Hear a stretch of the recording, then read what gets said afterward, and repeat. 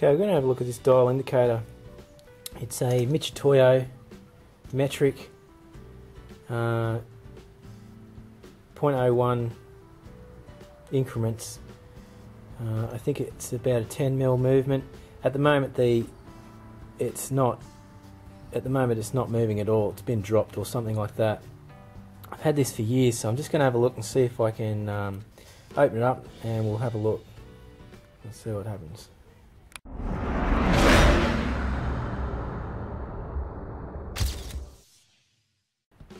Alright, taking the back off it now.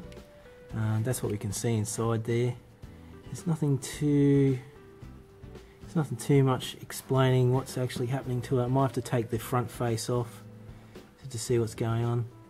There's a um, a small gear that runs along the the shaft there at the front, and um, see the spring. There's a little side shaft there that runs in a channel little groove over there. So I think I'll pop the front off it and see what's uh, going on in the front as well. Okay, I've had another look at this front face here. What I've done is I've, I've put the back back on.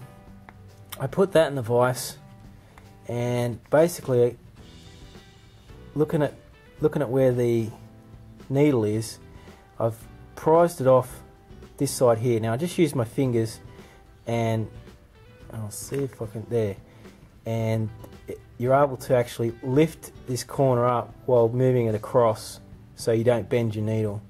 Now what I've found here is we've got some screws screws on the front here. So I'm gonna have gonna have a bit of look at this and see if uh, they they're adjustable or something like that and see if I can get the pressure off this shaft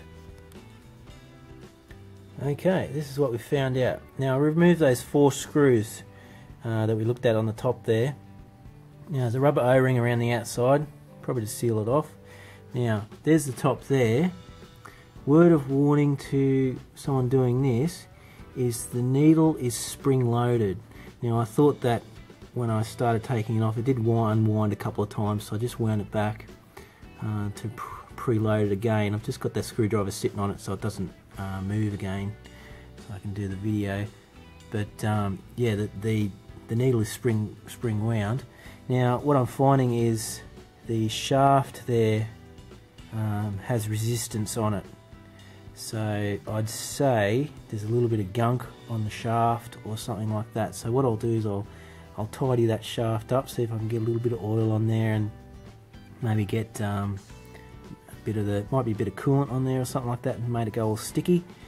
So what I'll do is I'll I'll see if I can free that up first and then I'll chuck that back on and see. There doesn't seem to be any adjustment on it. The the holes are um, uh, like to size on the screws but there might be a little bit of adjustment um, there but we'll see how we go. Alright I'm going to free that up first and then we'll see if we can fit it back.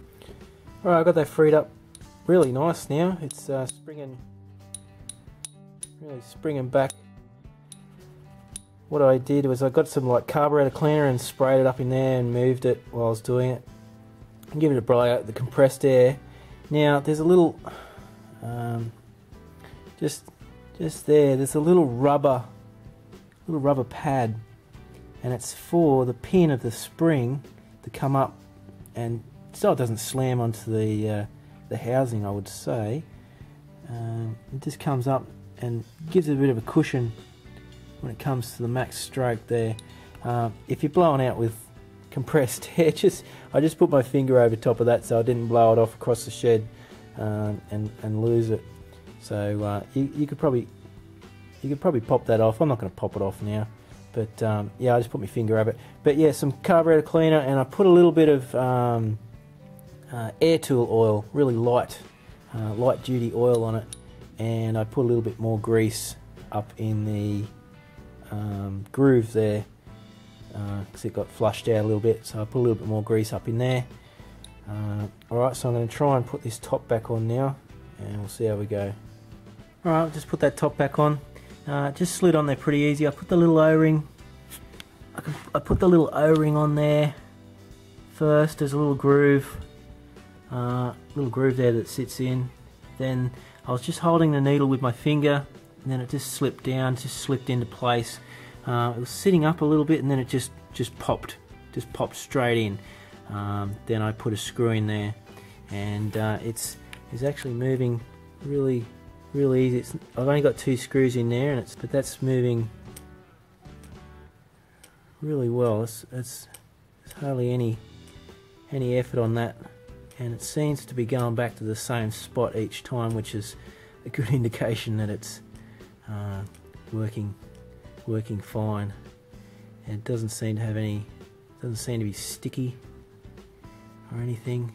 It's, it's moving quite nicely. So I'll put the other the other two screws in and I'll start tightening it down. See if there's any adjustment in it.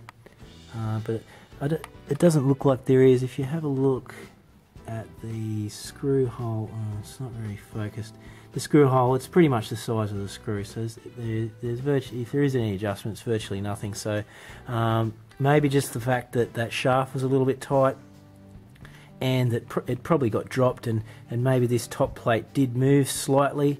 Uh, it could be a combination of a couple of things, but at the moment it's moving, it's moving nice and free. So uh, I'll I'll do those screws up and, and uh, we'll see see how that goes. Well, I've got the got the front face on there now. It's still moving, still moving nicely. So um, yeah, I'd say it'd be a combination of a few things there, being a bit dirty and all that sort of stuff. I've given me face, given that face a bit of a clean down. I've cleaned my my face in uh, my glass here, give that a bit of a clean down so it's all clean.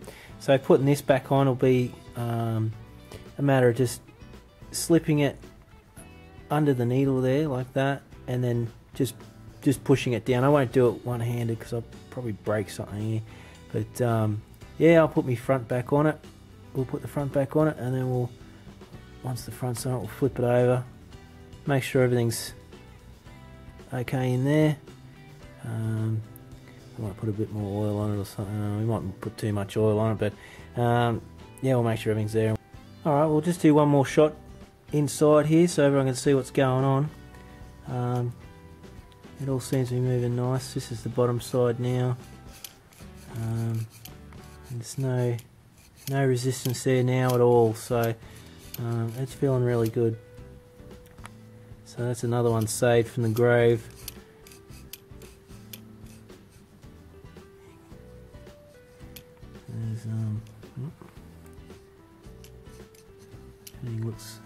Pretty good there.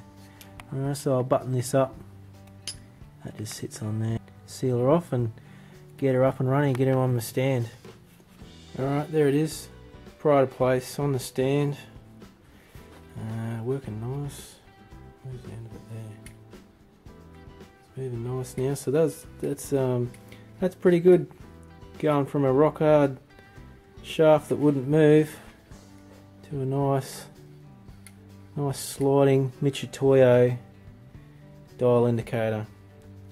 Uh, I was using a Chinese uh, dial indicator but uh, we all know how they go so um, that should that should make things a lot more easier down here. Alright, well, I'll be doing some more videos soon so uh, stay tuned.